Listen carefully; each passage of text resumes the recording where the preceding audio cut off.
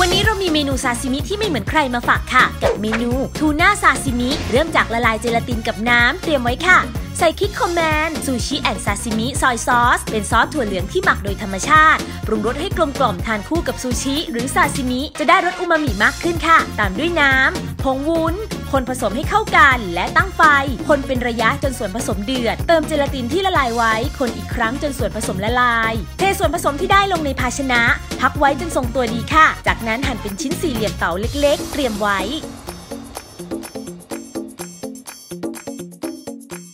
และปลาทูน่าเป็นชิ้นสี่เหลี่ยมผืนผ้า วางใบโอบะลงในภาชนะเสิร์ฟตามด้วยเนื้อปลาทูน่า ตกแต่งด้วยอะโวคาโด